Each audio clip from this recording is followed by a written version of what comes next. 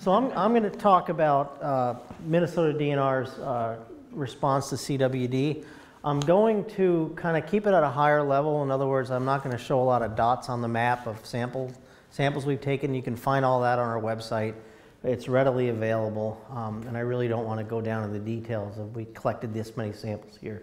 It gets pretty boring. Um, so, as, as Peter said, I oversee our wildlife research unit, uh, which is four groups uh, and a couple of biometricians and some other staff.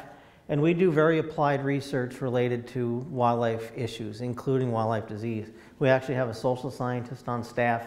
Um, uh, and as, as Peter said, I've been dabbling in CWD stuff for about 20 years. And my background is a little different in that um, my undergraduate and master's degree are in straight up wildlife biology, wildlife ecology. I've worked as a wildlife manager for a very long time.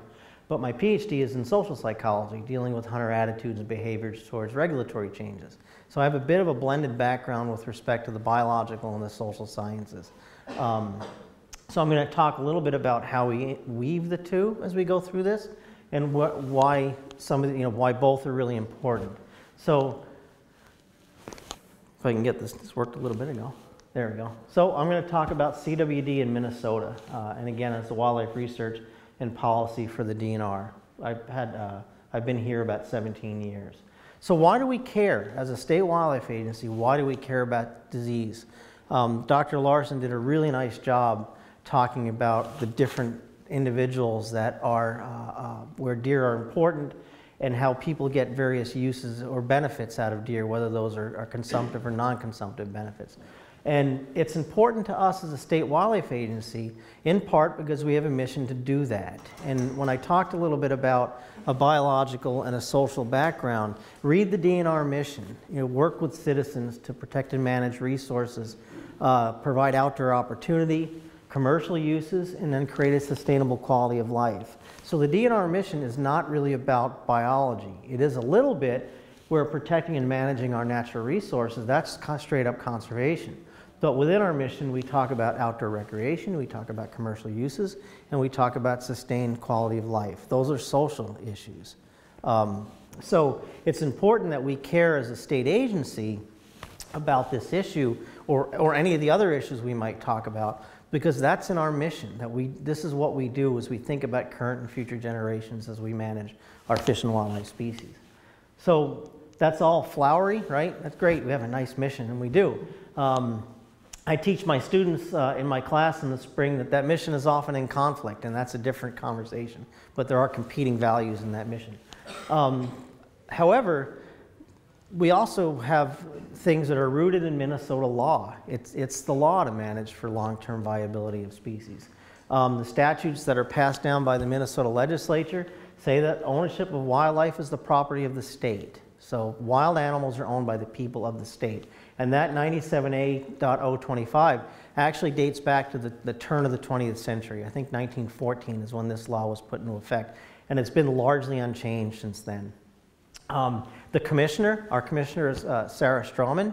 Uh, she has charge of all and control of all public lands and wildlife, and that responsibility is passed down to the agency to manage those species. And that finally we conserve and enhance through planned scientific management, protection, and utilization. So the law tells us that we manage wildlife species for current and future generations. So if you hear me on the radio talking about that, I'm basing what I say in Minnesota law. So I just wanted to kind of set it up that way because it's not, um, uh, it's important to us as, as public land ma uh, managers to think about things for current and future generations. And, and this disease is not a current generation issue per se, it's a future generation issue. So one of the complexities with dealing with this disease, and, and, and Dr. Larsen mentioned this in her talk, uh, animals are asymptomatic for a number of years, up to two or three. And then when, when they become symptomatic, they, they decline very quickly on the order of months until they finally exhibit clinical disease. If you, if you look at the slide, you know, which of these deer are not CWD positive? Can you tell me? You can't. You can probably this one. This one's clearly a clinical, animal, clinical case. Um, this is the Pine Island uh, deer in 2010. Um, the only one in this slide that is not CWD positive is the one that has ear tags in it that say don't and miss. Um, somebody did that in our CWD zone, and they were, uh, we were able to get the deer killed. But this is the only one that was not detected for chronic wasting disease. These other animals were hunter harvested during the regular deer season, and they came back positive. And if you were to look at them, they look perfectly normal, and that's one of the challenges we have. Um, uh, they don't turn white or black or gray when they get sick. They look just like any other deer you might harvest. So that's one of the challenges we have as that public trust agency to manage for a chronic disease when a, a sick deer largely looks the same as a, as a healthy deer for most of the, most of the infection period. So our surveillance program, we actually started in 2002, August 2002, there was a positive elk farm in Aitkin County. Um, and also the disease was found in late 2001, early 2002 in Wisconsin. So that actually put the disease uh, into the Midwest and right at, I think it was December 2001. so it became really important to, the, to those of us managing Midwest white-tailed deer populations. Up until then, it was a Western disease in Colorado and Wyoming, and we didn't think too much about it. So over the course of from 2002 to 2004, we did a, a rolling statewide surveillance program. We tested about 28,000 deer and didn't find any positives. And it, after we got done with our statewide surveillance, we made the decision that we had to change our strategy. And the reason, the reason for that was in 2003 and 2004, which were pretty even years for numbers of samples, we, we were spending between 1.2 and 1.4 million dollars in both those years, and that's 2003 and 4 dollars. So, as an agency that relies entirely on license sales to exist, or almost entirely, um, we can't afford that level of surveillance on an annual basis. It's just not in our budgets, simply not in our budgets. So, in 2005, we started to look at the disease a little bit differently. We look at it as a function of risk. Okay, risk, risk is identified in multiple ways the symptomatic deer that, that someone might call in, hey, I've, I have a deer that's, that's, that's acting strange, and we, if we can collect it, we'll take the sample. So, so what we would call a deer exhibiting a, a suspect animal, showing clinical signs. Um, a new infection in an adjacent state. Think about Wisconsin over here, think about Iowa over here. So our risk changes as the disease gets closer and closer to Minnesota. And on multiple occasions, we've, we've, te we've tested along the border um, uh, of Wisconsin and Iowa as a result of their positives. So, and the third form of risk is when, when the disease is found in the captive cervid industry, we do surveillance around those, cap, those farms because that's also risk. So we don't, um, so we're very thoughtful about how we do surveillance because in many respects it's very, very expensive. Um, just kind of one slide on, on our surveillance program this year. Um, so what we do is we, we just finished we just finished modifying our, our CWD management and response plan, and all this stuff is readily available on the DNR website, uh, mndnr.gov slash CWD. Um, as we worked ourselves through how to respond to the disease, we've decided that what we'll do is we'll draw a 16, a 15 mile circle around a positive deer, and that's, that's going to be our zone. So what we've done this year is since we have positives here, there's a positive right here in Wisconsin on the line, there's a positive down here in Iowa, there's a positive, uh, several positive deer up here in Winona County, um, sorry, down right there, Winona County. So we now have a large CWD management zone in the southeast. We have, we've set up some control zones, that's the yellow, uh, and those are areas that we don't want the deer moving out of those areas. We're trying to stop this or slow down or stop the spread. So we have certain regulations in these yellow areas. Um, and then way up here in the north central part of the state that I, I just kind of blew up because that's our new area. Um, that's our new CWD zone that we're calling 604 um, uh, starting this year. And this just wanted to show kind of the practical nature of drawing zones. I talked about a 15 mile circle. If anyone can describe, legally describe a 15 mile circle for me that we can put in a regulations book and enforce a law, I'll buy you lunch. You can't, you can't do it, right? So our zones are always, our zones are never 15 or 10 miles because they have to be enforceable. So what we do is we draw a circle around the positives and then we bound our, we bound our zone by roads. So we ended up being a little bit bigger here, slightly smaller here, and that's really just a function of being able to, to, to, draw and enforce a zone. So we get criticized about that. Well, it's not exactly 10 miles or not exactly 15 miles, but it has to be logically explained. And within our authorities for rules with CWD management, we, the legislature has given the Department of Natural Resources very broad authority to manage for disease. We have the ability to restrict recreational feeding. We have the ability to make surveillance mandatory. We can restrict carcass movements. Um, we can do all sorts of stuff related to disease response. That is, is unique means it never occurs anywhere else. It's not unique, but it is rare. Most states don't have the authority to simply have a special hunt three weeks after they find a positive deer. Most states can't say you shall not take a carcass out of this zone until a test result is reported as non-detected. We can do that um, in Minnesota. So when you hear things related to disease responses in Wisconsin or Iowa or Michigan or anywhere else, you have to take a step back and think about what are the authorities of those states and what can they do.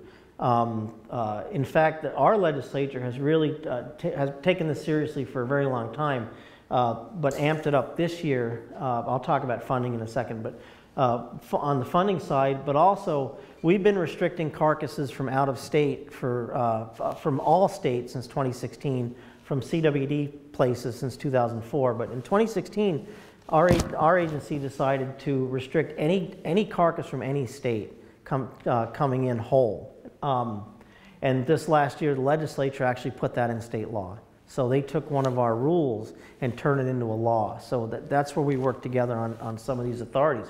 Um, Wisconsin does not have similar laws. You can move carcasses around Wisconsin. You can't in Minnesota. So we do lots of stuff related to disease management. Um, check out our website, look in our regs book for more details. But the key here is that we, we do take a very aggressive stance towards the disease and we, we really thoughtfully or, you know, organize our rules and regulations around that but they have to also be enforceable. So I was watching some, I was trying to get a flavor for how, how to construct this talk, so I started watching some TED Talks, and I stumbled upon one, and I hope I didn't break some law, but I am crediting Dr. Tracey McNamara, um, who gave a TED Talk about biosecurity and the realities of doing biosecurity surveillance. And I, I screenshot this slide because it encapsulates everything that we do with respect to funding. Um, most of our surveillance is borne on the backs of people who buy hunting and fishing licenses. That changed for this, this fiscal year. The legislature appropriated about $1.8 million over two years to help with our surveillance program, but historically that's been borne on the backs of, of people who buy licenses. And when I saw this slide, I mean, this, this makes perfect sense to me. A lot of money goes into human health, a lot of money goes into agricultural uh, surveillance, very little, very few federal dollars go into wildlife surveillance. And this is one of the realities that we have as, as state wildlife agencies um, with declining hunter numbers and declining revenue bases, um, that we still have to do this really important, really expensive work, and there's almost no federal money to do it. So I thought this was really compelling that, that you know, we could argue that none of the pies are big enough, but we know that the wildlife pie is, is infinitesimally small. So that's kind of the setup. Um, I'll get to the biological piece in a second, but we're doing a lot of social science work related to deer hunters and landowners and the general public. And this slide, I'll explain it, but this slide frustrates me, and I'll, and I'll explain why. Um, because we, we do know that you know, DNR has the ability to do all sorts of stuff like I talked about. Uh, but if people aren't going to, to partake in those, in those activities, if we design a rule that they don't or don't want to or can't follow, then it doesn't work. The other piece is that we need, if we want to lower deer densities, we just don't wave a magic laser pointer and the deer density goes down.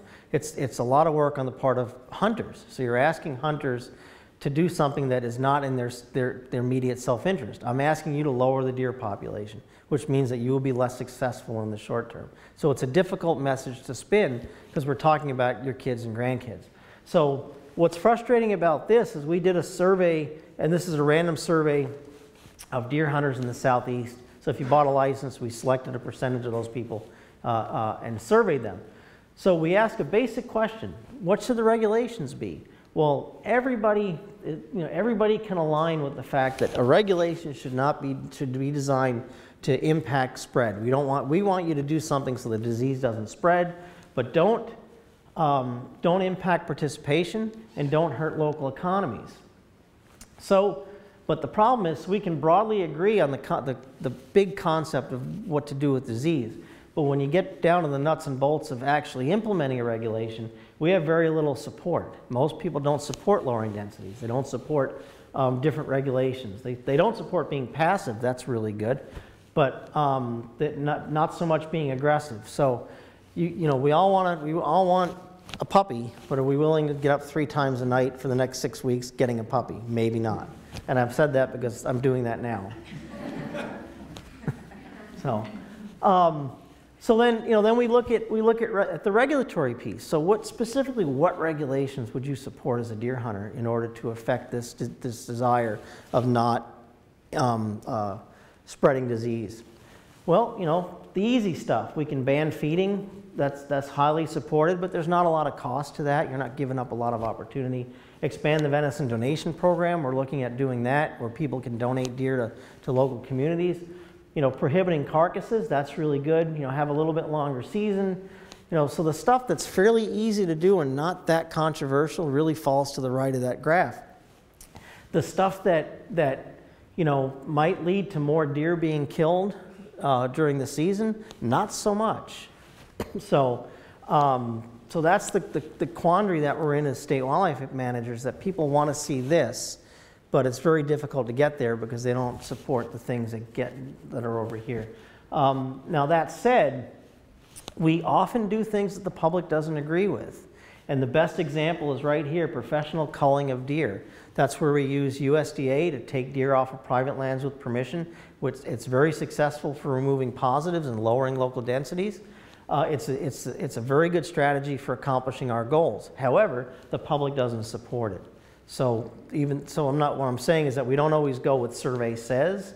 We balance our survey results with um, the biological needs that we have in front of us, and we do that at some cost, right? So stepping over to the biological side, um, we're doing a, a, a, really nice research project that was, that was partially funded by LCCMR, the Environment and Natural Resources Trust Fund looking at deer movements. And what we're trying to, trying to do is uh, answer some questions is how are these deer using the, the landscape, using the habitat uh, in, the, in, our, in our disease area. So for the last two years, and we have at least one more year, we're collaring white-tailed deer around our, our CWD zone, and we're looking at uh, documenting dispersal. Where are these animals going? And as, as Peter said, I'm having a hard time with Dr. Larsen, Dr. Larsen. So that's what, uh, what, Peter said, was uh, uh, um, the, the, the interspersed habitat that's down there. This is probably the best habitat, deer habitat that we have in the state of Minnesota. And the, the underlying question is why would a deer who lives in the best habitat in the state here pick up and move 20 miles to the best habitat in the state here? Um, so that's one of our research questions is how are these deer using this, this really it, it's disjunct landscape, but it's very similar landscape. Um, so we're looking at juvenile movements. We know from the biology of deer that they go through a couple of movements as young animals uh, when they're about 10, 10 months old, almost a year in the spring, and then when they're almost a year and a half old in the fall. Those animals move around the landscape and they set up new home ranges. It's likely a genetic uh, characteristic where you're trying to mix up your genes so you're going from this oak stand to that oak stand, but you might not be related to the deer in that oak stand. So they, since deer have been on the planet for millions of years, we'd have to ask them why they do it, but it certainly works. Um, so we're, then we're looking at some adult male movements because we know that adult males, even though they set up a home range, they do a lot of trips during the breeding season especially. So we wanted to look at how are these animals moving on the landscape and what's the potential contact among individuals and therefore spreading, potentially spreading disease. So the desire is then to spread, you know, create some, some disease pathway models to tell us that where, where are we at risk for new, new detections based on the landscape. Um, and then also looking at general causes of mortality. We have other projects going on where we're looking at ways to improve our deer population model. So any data that we can collect that helps inform that overall population model, we're always looking to do. So the study has a secondary objective of looking at mortality, although that's not, um, not the most important piece. So, so we're actively on the ground looking at how these deer are using the landscape and what they're doing. And lo and behold, so we get, Kelsey's in the audience. Kelsey LaSharr is uh, uh, one of the folks leading this project, and she's the keeper of all deer pictures. We get lots and lots of trail camera pictures of deer from this project. And what's, what's really interesting, how many landowners do we talk, do we talk to? Okay, so most of this work is on private lands. So we have to get permission to capture deer on private lands. And we establish relationships with those folks uh, through newsletters, through communications, by getting permission. And as a result, we get pictures back all the time. Hey, hey, what number is this? Where was this one caught? Um, and hopefully we don't say, I don't know, the collar's dead. Um, but uh, um, so we get pictures all the time of our radio collared deer, uh, um, and, it, and, it's really neat. And then we can use them. But what we're so what we're finding in this in this study, just kind of in brief, is that these females are moving long distances as well, which isn't it's not that common, but we're seeing female dispersals. Those spring movements tend to be longer than the fall movements, so they're setting up new spring home ranges at a further away. Um, and like I talked about with uh, adult males, lots of those movements in the fall are, are like this, where they're going, and, and deer biology being what it is, when males will go try and breed multiple females over the course of a very short breeding season, so they travel long distances. Uh, and then they set up their home range again once the, once the breeding season is over. But one thing this study did do pretty much automatically with the first year's worth of data is it helped inform our zone boundary in the southeast. And the, why I say that, that's where the, that's the intersection of, of the, the biological research with the policy end. Um, we know that uh, we used to draw boundaries that were 10 miles around positives. And we were talking about going to 15, and this study kind of showed us that we needed to go to 15. Um, and so this, the boundary that you see in the southeast today is a reflection of a 15 mile circle around positives, not a 10. And that's partially informed by just a year or two of this study. So we're actively using our data to make, make uh, regulatory decisions. So the take home, I don't know how, how long I've gone, so I apologize. Um, the take home, I, I, think we can't do anything without legal authorities. We, we, you need to have the, the basis in law in order to change rules and regulations. And that, there, to me, there's almost nothing more important than that. Um, we hear a lot about, well, just wait for, you know, wait for, you know, something better to come along. You know, you don't need to kill all these deer, something better will come along. You know, we feel strongly that you, you use the tools you have, and that might be postseason culling, it might be special hunts, until something better comes along. It's not, given, given the chronic nature of this disease, where once it becomes established, there's really not a ton you can do about it with respect to eliminating it. Um, you don't have the, the, luxury of time to wait. It's not like bovine tuberculosis or even epizootic hemorrhagic disease that's been in the news recently. Those are the EHD is a very acute disease. It doesn't affect populations generally over the long term, and this is the opposite. So, you know, you use the tools you have until something better comes along, and then waiting is just a, it's just I, I, am often accused of being very direct. I am. It's a bad idea. Waiting is a bad idea.